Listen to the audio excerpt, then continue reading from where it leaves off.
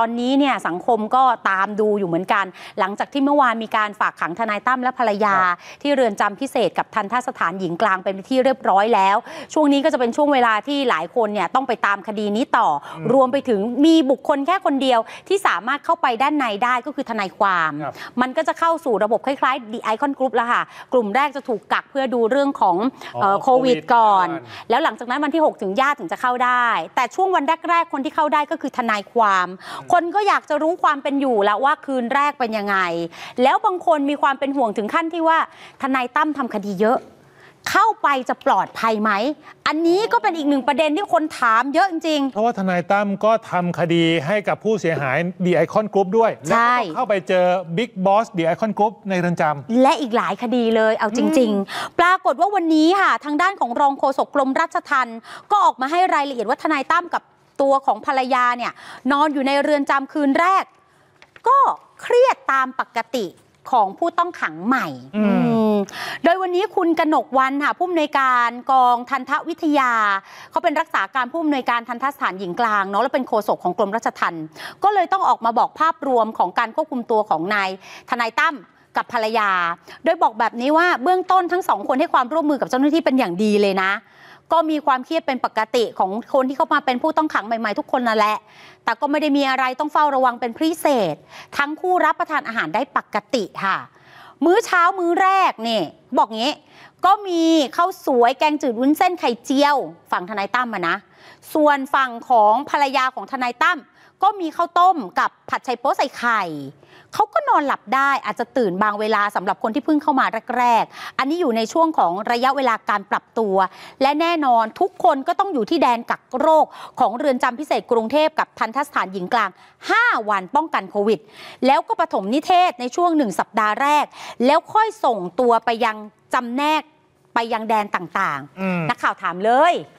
เอ่อคุณกนกวันคะ แล้วทนายตั้มอะจะไปอยู่แดนเดียวกันกับผู้ต้องขังของ The Icon Group ไหมจะไปเจอกับผู้ต้องขังฝั่งชายทั้ง 11 คนไหมโอ้โหแต่ตัวของเจ้าหน้าที่บอกแบบนี้ไม่หรอก แล้วเขาก็ไม่ได้อยู่กัน 11 คนด้วยนะ เขากระจายกันไปอยู่ตามแดนต่างๆ เพื่อไม่ให้อยู่รวมตัวกันครับส่วนกรณีที่เป็นนักโทษที่อาจจะเล็งเห็น ซึ่งมีความขัดแย้งหรือเปล่ากับผู้ต้องหาเดิม อันนี้เขาจะแยกครับเขาจะแยกให้อยู่แล้วอ๋ออมแต่ขณะเดียวกัน ตัวของทนายสายหยุดเพ็งบุญชู ทนายส่วนตัวของทนายตั้มกับภรรยาคุณปฏิตาเนี่ยนะฮะคุณผู้ชมครับ ก็พูดถึงเรื่องการต่อสู้หลังจากนี้ มันมี 3 กรรม 3 เรื่องก็คือเรื่อง 71 ล้าน เรื่องรถเบนซ์แล้วก็เรื่อง 9 ล้านค่ะนะฮะที่เอาไปลงทุนเอาไปทำนู่นทำนี่ 39 ล้านที่ไปโยงกับเรื่องของเอ39 ล้านเนี่ยก็คือ เรื่องของการทำเว็บทำอะไรอ๋อ ใช่ไหมใช่สามสิบเจ็ดสิบเอ็ดล้านทำเอ่อแอป อ่าเกี่ยวกับ แอปหวยออนไลน์หวยออนไลน์สามสิบเก้าล้านเนี่ยเป็นเงินที่ไปเกี่ยวข้องเชื่อมโยงกับสิ่งที่เขาบอกว่า ฝั่งนี้บอก scammer อ๋อ scammer อะเออ เรื่องจ้างดาราจีนมา ใช่ แต่ว่าทางด้านของผู้เสียหายบอกว่าเป็นการเซ็ตฉาก ครับ เพื่อให้มีองค์ประกอบแล้วหลอกเอาเงินเขา แต่ 39 ล้านยังไม่มีการดำเนินคดี อ่า เอาทีละมุมนะฮะ คุณสายหยุดเพ่งบุญชูแกบอกว่า ประเด็นที่จะสู้ขออธิบาย 2 เรื่องก่อน เรื่องแรกก็คือเรื่องของ 71 ล้าน ที่ตอนแรกทนายตั้มบอกว่าเป็นการให้โดยเสน่หา ประเด็นนี้ ทางตัวทนายสายหยุดแกบอกว่าช่วงจังหวะที่มีการขอยืมเงินเนี่ยจะยืมหรือจะให้เลยเนี่ยอันนี้ผมไม่ทราบค่ะแต่ทนายตั้มยอมรับว่าไม่มีหลักฐานตอนไปขอเงินที่ฝรั่งเศส ว่าเป็นการให้ยืมหรือชักชวนร่วมลงทุน หรือหลอกลงทุนหรือให้เลย ก็ยังถกเถียงแล้วก็ทะเลาะกันอยู่ในปัจจุบัน เพราะฉะนั้นเนี่ยรายละเอียดเดี๋ยวคงต้องไปพูดคุยกันหลังจากนี้ เรื่องประเด็นที่จะต่อสู้ เพราะมันมีข้อต่อสู้ที่จะต้องรวบรวมหลักฐานทั้งหมด แล้วไปโต้แย้งในชั้นศาลเอาทีละประเด็นนะฮะเอาเรื่องนี้ก่อน ยืนยันกันเลยว่าผมเห็นหลักฐานแล้วฮะครับ คุยกันที่ฝรั่งเศสก่อนนะครับ ว่าจะลงทุนเขาถามใช้เยอะไหมที่ทาบอกสองล้านยูโรเอ้ยก็ไม่เยอะนี่ เดี๋ยวพี่ช่วย เดี๋ยวพี่ให้พูดอย่างนี้ พี่ช่วยเดี๋ยวพี่ให้เขาก็ยังเอาตัวเขากับภรรยาเขาไปกราบขอบคุณ เขาก็ยกโทรศัพท์โทรมาหาพี่น้อยที่ประเทศไทยว่า ให้ดำเนินการเรื่องนี้ให้ด้วย พี่น้อยเขาไม่ได้อยู่ในฝรั่งเศสด้วยใช่ไหมครับ พี่น้อยก็แชทมาถามที่อย่างที่พี่ถามนี่เลยพี่อ้อยมีกี่หุ้นพี่อ้อยจะได้อะไรบ้างจากการลงทุนครั้งนี้ คือเขาถามไปตามฐานะเลขาเขาต้องถามเพราะเขาไม่อยู่ที่ถามบอกไม่ครับ ผมลงทุนคนเดียว อันนี้โครงการเล็กๆผมทำดูก่อนเดี๋ยวพี่อ้อยทำโครงการใหญ่ๆดีกว่าจะได้สมฐานะพี่อ้อย วันที่คุยนี่คือ 29 มกราคมมีหลักฐานอะไรไหก่อนผมมีแต่ราคาผมเอาไปในท่านะเพราะ สื่อไม่ได้ตัดสินว่าใครถูกใครผิด จะเป็นการยืม เออ หรือมีการให้เออหรือชักชวนลงทุนหรือเออลอกลงทุน เนี่ย หรือให้เลย มีไหมก็มันไม่มีก็ถึงทะเลาะกันอยู่นี่ไงพี่ ก็มันไม่มีแต่ยืนยันได้ว่าทิชาทำคนเดียวชนะได้อ่าเนี่ยฮะคุณผู้ชมแล้วก็มีเรื่องส่วนต่างรถเบนซ์อีก1ล้าน5แสนบาทเบนซ์ G 400เนี่ยนะฮะทางทนายสายหยุดก็บอกว่า เอาจริง ๆ คือย้อนกลับไปถามที่โชว์รูมว่ามันมีค่าคอมมิชชั่นเท่าไหร่ นี่ทนายตั้มเคยไปถามด้วยนะ แล้วโชว์รูมบอกว่าได้ 8 0 0แสนทนายตั้มก็เลยพูดกับโชว์รูมพูดเล่นๆเหมือนกับแซวๆกัน ด้วยความสนิทสนมบอกได้ข่าวว่ารถราคา 10 ล้านได้ ได้เป็นล้านเลยจริง ๆ ไม่ใช่เหรอ คือเอาทางโชว์รูมเนี่ยเขาก็พูดกันแบบพูดพูดเล่นตกันรงๆแหละ ว่าเหมือนกับว่าถ้าใช้ภาษาชาวบ้านขออนุญาตใช้ภาษาชาวบ้านนะ อย่าใส่พี่สายหยุดอย่ามากดกันนะ คือเขาให้ข้อมูลประมาณว่าทนายตั้มไปพูดว่าวิรถสิบกว่าล้านอะข่าวค่าคอมล้านห้าได้ปะล่ะอืม เออ ซึ่งแค่เซลล์ก็ตกใจอืม โอ้ยเพื่อนอยู่ในวงการขายรถสปอร์ต เพื่อนบอกว่าปกติรถรถรถพวกรถแพงๆแบบเนี้ย เซลล์เขาขายเต็มที่ไม่ถึงล้านหรอก ยกเว้น อุ้ยใช้คำไหน ยกเว้นบวกเพิ่ม อะอะไม่ แต่อันเนี้ยทนายสายหยุดแกก็บอกนะว่าทนายตั้มพูดเล่นๆ ไม่ได้ตั้งใจอืมเขาก็ให้จริงอย่างเงี้ยเหรออืมก็อ้าวเดี๋ยวให้ค่อยไปว่ากันแล้วกัน ให้ทนายสายหยุดได้ไปพูดคุยรวบรวมข้อมูลมา แต่ว่าหลักใหญ่ใจความนะฮะคุณผู้ชมครับ คือ ทนายสายหยุดเองก็บอกว่าทนายตั้มพร้อมต่อสู้ในทุกๆประเด็น และไอ้เรื่องความผิดที่ว่าจะผิดอาญาหรือไม่หรือเป็นแค่ความผิดทางแพ่งเนี่ยอืมก็ต้องรอรายละเอียดแล้วไปสู้กันในชั้นศาลถ้าพูดทั้งหมด มันก็จะเสียรูปคดี แล้วเรื่องเงิน 71 ล้านที่ไปขอเงิน มาดามอ้อยที่ฝรั่งเศสเนี่ยมันก็ไม่มีหลักฐานเรื่องตอนไปขอเงิน แต่ทุกอย่างอยู่ที่ความจริงซึ่งก็พร้อมที่จะสู้ในทุกประเด็นอยู่แล้วอืม ซื้อรถเบนซ์นะครับหนึ่งล้านห้าแสนบาท ตรงนี้ครับ ผู้เสียหายเขาประสงค์อยากจะได้รถเบนซ์รุ่นไอ้ G 400เขากำหนดรุ่นมาเลยว่าเขาอยากได้รุ่นนี้ ทนายสิทธาก็โทรไปหาพวกนำเข้ารถอะปรากฏว่าหาไม่ได้ แล้วเขาก็รู้จักกับ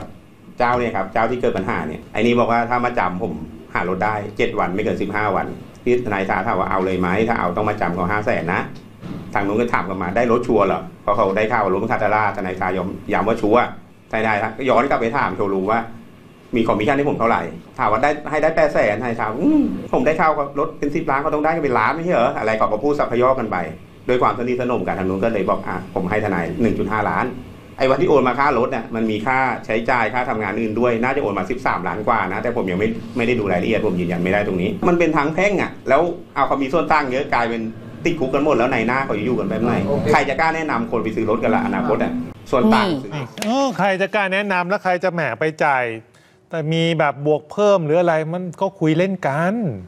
แต่ได้จริงปะล่ะ อืม เดี๋ยวเดี๋ยวต้องเดี๋ยวต้องไปดู ครับเพราะว่ามันอยู่ในข้อต่อสู้ในกระบวนการที่พี่สายหยุดเออทนายสายหยุดเห็นไหมไปเรียกเขาพี่แล้วอยากเสนอเขาทนายสายหยุดเนี่ยจะต้องเตรียมหลักฐานทั้งหมดแล้วเขาบอกว่าจริง ๆ ก่อนเข้าไปอะก่อนที่ทนายตั้มจะเข้าไปในเรือนจำอะ ทนายตั้มเตรียมพร้อมไว้หมดแล้วนะครับเรื่องข้อต่อสู้ต่างๆ โดยเฉพาะประเด็น 71 ล้านที่วันนี้มันกลายเป็นว่ามันไม่ได้ให้โดยเสน่หาและ เพราะทนายสายหยุดให้สัมภาษณ์แล้วก็บอกว่าทนายตั้มมาแหละพูดผิดเหมือนลั่นอืมพูดไม่หมด ถ้าไปฟังจริง ๆ ในแชทกับหลักฐานที่มีจะพูดในลักษณะที่ว่าเหมือนกับให้เพื่อลงทุน ให้ผมเหมือนเก๋ไปยืมพี่โจ๊กครับแล้วเก๋เอาไปลงทุน แล้วจะขาดทุนจะเจ๊งหรือจะอะไรคือเก๋เป็นผู้รับผู้เสียหาย เก๋ก็จะต้องคืนเงินเงินเงินพี่โจ๊กอืมเออพี่โจ๊กจะให้ยืมโดยเสน่หา หรือให้ยืมโดยการทำสัญญา มันเป็นอีกเรื่องหนึ่งต้องแยกอะต้องแยกแล้วต้องดูที่หลักฐานด้วยอ่าแต่เมื่อกี้ทนายสายหยุดก็พูดว่าอืมก็ไม่มีหลักฐานตอนไปยืมนะ ซึ่งมันก็อาจจะตีความได้ว่าถ้าฝั่งทนายตั้มหรือพี่สายหยุดเองเนี่ยมีหลักฐานทั้งหมดเพราะเขาบอกเขามีเป็นแชทก็อาจจะคดีนี้มันอาจจะถูกโยกเปลี่ยนไปไม่ใช่ช่อโกงแล้วเป็นแพ่ง อาจจะเป็นแพ่งเพราะกู้ว่ายืม ยืมมาแล้วไม่คืน มันก็อ่าเป็นแพ่ง แต่ทีนี้เนี่ยสังคมทั้งหมดเลย เขาก็ไปรอดู ไม่ว่าจะเป็นทางฝั่งของอาจารย์ปานเทพ หรือคุณสนธิก็พูดว่าอะประเด็นเนี้ยคุณอยากคุณจะพูดอะไรคุณไปสู้ไป แต่ 39 ล้านที่บอกว่าเหมือนเป็นเป็นขบวนการ อืมแล้วมีคนเกี่ยวข้องอะสิ ครับ อันเนี้ยทุกคนรอดูว่ามีมีหมายจับล็อตสองไหม แต่วันนี้คนก็รอดูอีกว่าอะ ถ้าทนายตั้มกับตัวของภรรยาคุณปทิตตาเนี่ยเข้าไปอยู่ในเรือนจำชีวิตความเป็นอยู่เป็นยังไง อืม FC บางคนเป็นห่วง ถ้าไม่ใช่ FC ก็ตั้งข้อสังเกตเยอะ ครับ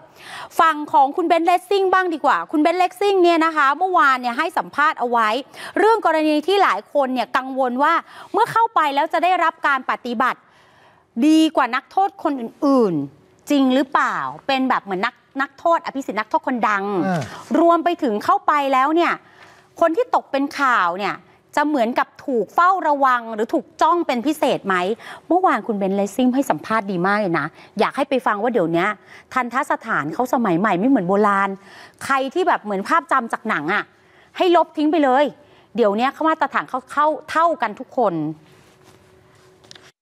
ผมผมมองได้เป็นเป็นสองประเด็นประเด็นแรกคือ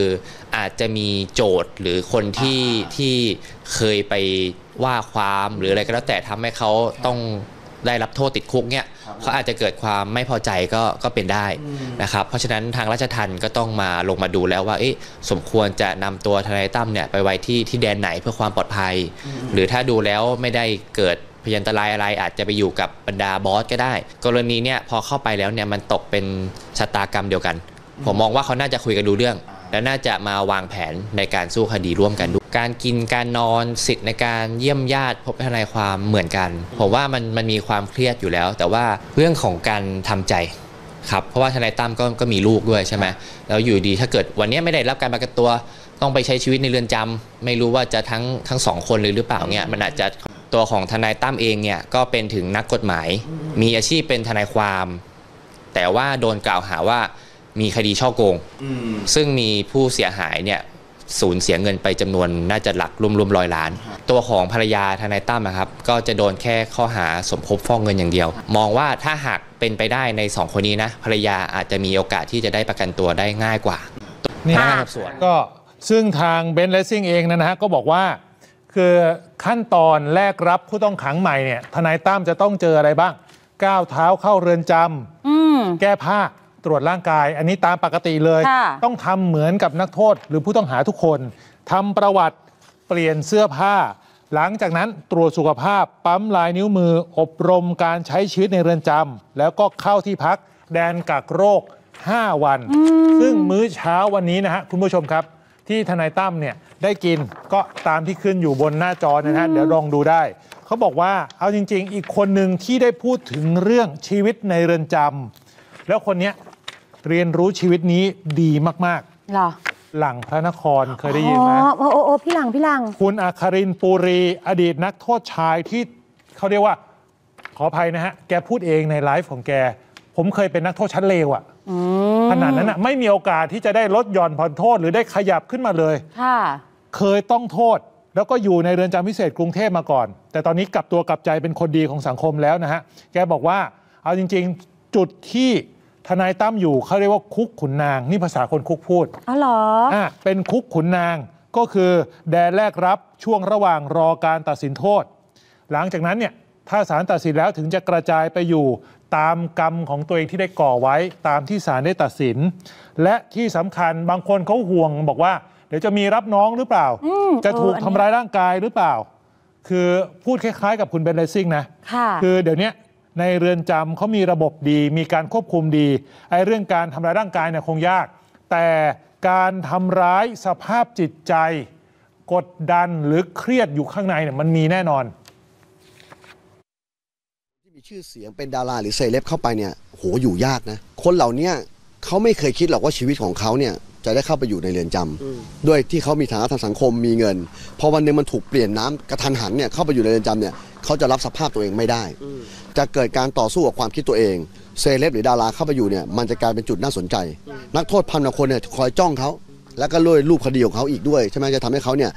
อาจจะประสาทได้ทางเรือนจำเนี่ยพิเศษกรุงเทพเนี่ยอาจจะจัดห้องไว้สักห้องหนึ่งเพื่อให้ทนายตั้มเนี่ยเข้าไปกักกัน แต่รับประกันได้ว่าจะมีเจ้าที่คอยดูแลแบบ คุมเข้ม 24 ชั่วโมงแน่ เพราะว่าคนที่มีชื่อเสียงหรือคนที่เป็นดาราเนี่ยถ้าเกิดทำร้ายตัวเอง ในเรือนจำเนี่ยปัญหาเกิดใหญ่แน่งั้นเขาจะอยู่อย่างอึดอัดมาก ทนายตั้มไม่มีเวลาไปนั่งนั่งสนใจเรื่องพวกนั้นเราสนใจแต่เรื่องตัวเองว่าเฮ้ยรูปคดีของเราเนี่ยมันจะไปถึงไหน เราจะโดนตัดสินมากเท่าไหร่ แต่ละคนเนี่ยมันก็มีปัญหาชีวิตของมันอยู่แล้ว ได้เข้าไปอยู่ข้างในแต่ถามว่าจะมีโอกาสได้พูดคุยระบายปรับทุกข์หรือว่าอยู่ให้มันดูสบายกว่าเดิมไหมผมเชื่อว่าไปปรับเรือนจำพิเศษกรุงเทพเนี่ยในสมญานามของคนคุกทั่วไปเนี่ยเขาเรียกว่าคุกขุนนาง หมายความว่าคนเด่นคนดังคนมีชื่อเสียงส่วนใหญ่เนี่ยถูกจับจะอยู่ที่พิเศษกรุงเทพอะนอกจากตัดสินแล้วมีกำหนดโทษเนี่ยอีกเรื่องหนึ่งว่าจะย้ายไปที่ไหน หรือถ้ากำหนดโทษไม่สูงไม่เกิน7ปีก็อยู่ที่นี่นะครับงั้นระบบการอยู่ของเรือนจำพิเศษกรุงเทพมันจะแตกต่างจากเรือนจำทั่วไปตามจังหวัดหรือเรือนจำเรือนจำกลาง แตกต่างกันอย่างสิ้นเชิง ทนายเนี่ยในความเข้าใจของผมเนี่ยทนายเนี่ยจะต้องไปช่วยคนที่ถูกกล่าวหาผู้บริสุทธิ์ ให้พ้นผิด แต่ในรูปแบบช่วงหลังๆเนี่ยมันเหมือนทนายเนี่ยเข้าไปช่วยคนผิดให้เป็นถูก มันก็เป็นไปได้ที่เขาจะเจอโจทย์ แต่ถามว่าเขาจะถูกทำร้ายร่างกายไหม อันเนี้ยไม่สามารถการันตีได้ แต่ผมเชื่อว่าเจ้าหน้าที่จะคุมเข้มเขามาก แต่ว่าเขาอาจจะถูกกลุ่มโจทย์เนี่ย พูดจาเสียดสีหรือปั่นประสาทภาษาคุกเป็นไปได้ แต่อาจจะไม่ทำร้ายร่างกายแต่อาจจะทำร้ายทางกระบวนการความความคิดอะไรอย่างเงี้ยฮะ อ่าเพราะฉะนั้นอืม เรื่องของของที่หลายคนชาวเน็ตอะเขาไปเขียน